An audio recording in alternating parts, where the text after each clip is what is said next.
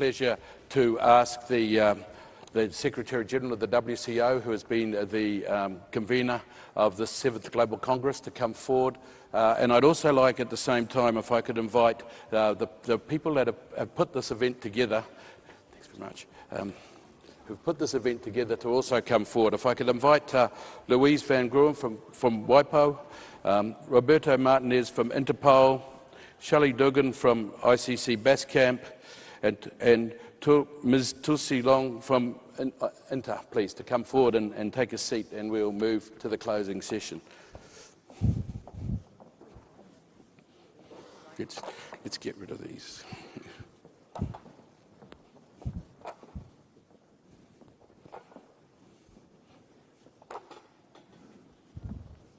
Please, just, just, just take a seat anywhere, I think would be. And the Secretary General is ready? Good. All right, just come in front of him. Okay. All right, it's now my pleasure to uh, hand the floor to um, Secretary General Mikuriya from the World Customs Organization to make his closing comments. Thank you very much. Well, thank you, Moderator, and um, very good afternoon to all of you. And as the chair of this seventh uh, Global Congress on combating uh, um, counterfeiting and piracy, it gives me a great uh, pleasure and honor to formally close this seventh Congress. During the course of the past three days, uh, there has been one word which has been reiterated uh, quite often, and this is collaboration. And uh, this Congress is a very good example of uh, this collaboration. Well, um, under this spirit of collaboration, the past three days have given us an opportunity to truly understand the economic and social effects of counterfeiting and piracy, as well as, uh, and more importantly, uh, we have explored potential remedies and best practices which can serve all of us to go forward. So, uh, what have we learned um, over the past three days? Uh, have we observed common threats uh, through those uh, panel discussions? One recurrent theme um, should be a sense of expectation. Sense of ex expectation on all uh, stakeholders, not only from for law enforcement agencies or public sector, but uh, also uh, from the educators, right holders and um, public service providers, and even um, the, as the last panel shows, um, uh, technology uh, solution providers, that uh, um, the combat of this important combat against counterfeiting and piracy will provide us and move us to act to try to stem this tide. And uh, of course, this Congress is not and ought not to be just a talking shop, but uh, uh, we must deliver and we must respond to this heightened expectation from all stakeholders. Well, since the last uh, Congress, which was held in 2011 February in Paris, uh, some progress has been made uh, but the underlying challenges still remain. Well, in the first uh, um, session, it was entitled From Paris to Istanbul. And uh, what change has been there uh, in the past two years? And it has become uh, increasingly apparent that any effective solution or remedy has to take place under the guise of a public-private partnership. A trend observed in the interlude between the two Congress has been that uh, the public opinion on intellectual property rights, there are some positive, but others are negative um, um, uh, shift. So uh, this is the reality.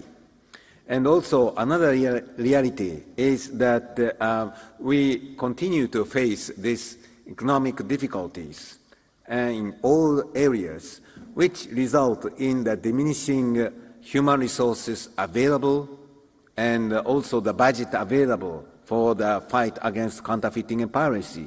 Those are the realities and challenges uh, for all of us. We are all asked to do more with less. Um, then, uh, during the panel session of Building Respect for Intellectual Property, all uh, speakers, uh, stakeholders can agree that uh, um, it is in our interest, own interest, to build respect for intellectual property. Um, we need to alter uh, perspective and focus on uh, building respect for intellectual property rather than simply focusing on enforcement issues. Well, um, uh, representing uh, law enforcement agencies, if there is not uh, respect for intellectual property, it is very difficult for us to enforce any regulations uh, related to this uh, protection of IPR. Therefore, what we need is a holistic approach and um, uh, that's encompassing an understanding and respect for the law enforcement remedies, which can stem the tide, but also fostering and cultivating uh, respect for the inherent value of intellectual property. Well, enforcement uh, should not be done in isolation, uh, uh and it is um, together or um, enforced by the respect of intellectual property is really a must for any enforcement uh, in this area. The following session on supply chain security focused on that uh, nowadays supply chain has become very complicated and sophisticated and uh, it is used by legitimate traders but also exploited by counterfeiters. And the role and responsibility of intermediaries uh, throughout this uh, supply chain has been highlighted. And uh, also, we expect that uh, all players in the supply chain conduct due diligence. Uh, this is really a, a highlighted area uh, that we need this uh, more transparent and efficient supply chain, but supported by due diligence of those who are involved, including intermediaries. And, and, and during the following uh, panel session, uh, capturing the elusive infringer on the internet. Well, this word elusive uh, connotes to the reality that uh, um, internet uh, use has enabled, uh, well, trade to grow, but um, increasingly the, it has become very much sophisticated and it allowed online piracy, which is a huge problem for all of us. And uh, also, uh, in this connection, cooperation with internet service provider is a must, but also uh, payment providers, credit bank, uh, uh, uh, credit cards and banking is also a very important issue to fight um, against this online piracy. And in the following session of evolving nature of counterfeiting, well, uh, speakers uh, uh, and um, you agreed uh, that an appropriate balance between intellectual property protection and public health and safety objectives is uh, uh, essential. the importance of um, increased capacity building for all stakeholders was highlighted, and um, challenges still remain in terms of number of prosecutions and rather weak justice uh, and legislation. And um, protecting public health and protecting intellectual property, there is a distinction between them. But it was acknowledged that there are large part of overlaps between those two areas. And then um, the, on the uh, second day, awareness and education. Uh, consumer awareness is the, the key pillar. And uh, well, it was a very dynamic and interesting session. We saw um, uh, animation by, uh, uh for children or um, very nice film clips for um, teenagers. So targeting at the younger generation, um, small children to, um, to um, teenagers, who will shape that consumer uh, culture is very important. And from the very beginning of life, young ages, a sentiment of natural justice, meaning that if you create something, then natural justice would decree that this then belongs to you. It's a necessary um, perception that uh, um, young people or children uh, should learn uh, from the very early uh, stage. And uh, how we could use, um, mobilize all those tools, um, uh, animation, uh, video games, uh, or creating superheroes, and um, we have seen many uh, of uh, those examples. And um, in a nutshell, what is important is um, consumers should be empowered and um, uh, adequate information should be made to inform them that they can make um, informed purchasing decisions. And in the following panel, operational enforcement activities in the context of customs, uh, we heard um, a variety of experiences from uh, administrations and how they are struggling uh, to fight against counterfeiting and piracy. And uh, persist, persistent uh, um, challenge remains um, how best they can implement risk-based interventions. Because customs administration's uh, mission is to facilitate legitimate trade, but uh, at the same time identify high-risk uh, cargo that includes counterfeiting and piracy. And that balance uh, should be done uh, through risk-based uh, um, intervention or risk management. And uh, therefore, uh, building technical capacity is very important. And for that purpose, especially in this area, we have to provide adequate tools so that uh, um, customs officers can make informed decisions on their intervention at borders.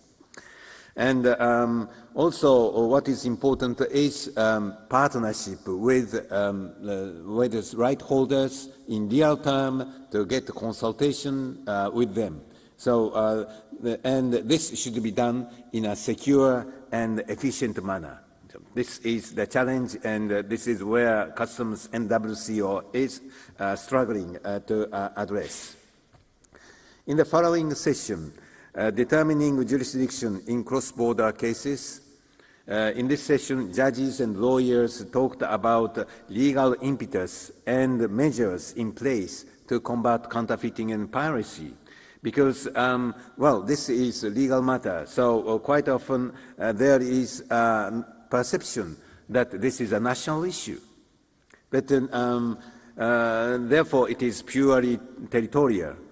But on the other hand, the reality shows that uh, um, this phenomenon is transnational.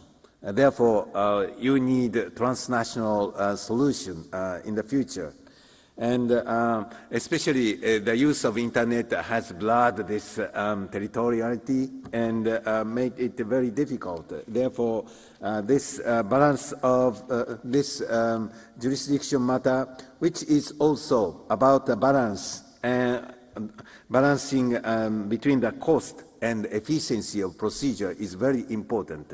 Um, judicial system should not be too much high cost in a profit uh, way. Uh, and um, uh, we need also consistency in ruling because there are many rulings, but uh, we need that uh, to ensure that consistency. And then um, uh, another interesting uh, um, session of the Turkish experiences. We learned how our host countries, uh, how our host country, Turkey, is uh, trying. But uh, um, first of all, they have a very long-standing history of protection of intellectual property, which started um, as early as in 1857. And um, uh, they are using utility models and alignment uh, with the courts is maintained. And uh, um, as uh, um, Turkey is, it has a very strategic position, and it is a gateway to the big market of uh, European Union. there is a EU project for effective IPR, IPR protection, which uh, which includes uh, close cooperation with Turkey and um, wide-ranging training opportunities are, available for uh, Turkish jurists. Um, the IPR legal system in Turkey is, um, has become, of course, um, aligned with international norms and um, that challenge, remaining challenge is that national IP law is still at the, um, uh, uh, uh, at the National Assembly. But uh, um, uh, let's hope that Turkey can make progress. And in a practical term, it has already made progress in replacing um, paper to um, electronic submission of documents. So the progress is there. And then um, in a, a session on uh, transnational organized crime in relation to counterfeiting piracy, yes, in some cases uh, there are organized crime behind, and um, uh, counterfeiting, counterfeiting and piracy are connected to, to that. Uh, the importance uh, of ensuring that enforcement uh, agents have at their disposal all necessary tools was highlighted and that combat um, should be very um, efficient and effective. it is not only counterfeiting, but um, in some cases behind the scene there are organized crimes. But uh, the reality, the challenge still remains that borders remain porous and no country is immune uh, to this type of crime. And um, uh, furthermore, uh, there is uh, agreement that the globalized um, at the beginning, there was a session on regional and national challenges, updates from developing um, open markets. And um, in the key developing or emerging markets, uh, there are many challenges and uh, innovative approaches are taken to counter these challenges. And um, there is notable increase in intellectual property theft in those emerging um, economies, and more seizures are made at borders, and uh, the systematic abuse and misuse of free trade zone are observed, unfortunately, and infiltration of counterfeited and pirated products into supply chain is a notable um, phenomenon and the necessity of incentivizing the creation of durable high-level policy coordination amongst governments between stakeholders was very much underlined. Then, um, uh, in the public and private partnership and other self-regulatory mechanism panel, uh, the session covered existing uh, private and public uh, partnership mechanism and um, alternate uh, op uh, opinions uh, that have been recently launched to address counterfeiting and piracy with a view to safeguarding the benefits of intellectual properties. And uh, what was um, underlined was the need for collabor collaboration and collaborative voluntary cooperation uh, between industry and the public sector. Uh, therefore, dialogue, engagement, trust, cooperation, and um, efficiency, uh, they are very important. And these um, initiatives serve as a complement to all the existing tools, so they are uh, in a complementary nature.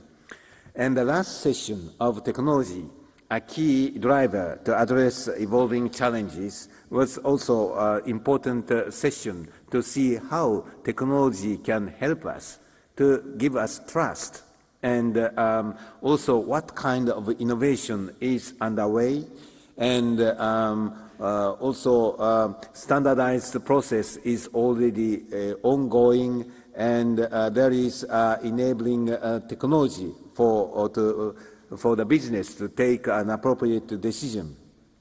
but uh, um, also reality on the ground in customs, how they are using those technology for, for their purpose. And uh, um, in the end, um, well, we need um, database and um, uh, to uh, leverage on this database um, collaboration is necessary. So those are the um, all panel sessions if I um, resume them in a very um, succinct manner. in conclusion, uh, this Global Congress has provided a platform uh, for learning, discussion, and debate, and also uh, um, outside this uh, Congress hall, uh, there are many networking activities were going on, and I heard that, uh, well, uh, that kind of networking was very useful in uh, the knowing others' um, best practices, but uh, and incorporating what having already gained. And we hope that this Congress has proved beneficial for all of you and uh, we sincerely hope that uh, we reconvene for the eighth edition of uh, this um, conference. Uh, uh, the room for improvement that has been identified has been well um, addressed. Lastly, uh, as you will appreciate, um, a conference of this size and magnitude requires a significant um, effort from all stakeholders. I would like to express my sincere gratitude to our Congress partners, Interpol, uh, WIPO, BASCAP, and INTA, for all their hard work and contributions over the last 12 months. And uh, um, of course, my special thanks goes to the host, uh, that is Turkish government, um, first uh, represented by um, Prime Minister Erdogan, uh, with his very inspiring speech that uh, set the scene uh, for this Congress and uh, um, a very high level um, political willingness was um, showed. And also uh, my special thanks to Turkish Customs, Minister Yazıcı, and his deputy minister and um, Secretary, and um, Deputy Undersecretary, all customs officers have worked very hard to make our conference successful and our stay in this um, charming connectivity town of um, Istanbul very comfortable and enjoyable and um, uh, made uh, ensure the success of this uh, Congress. I thank you very much and I wish you all safe trip home. Thank you.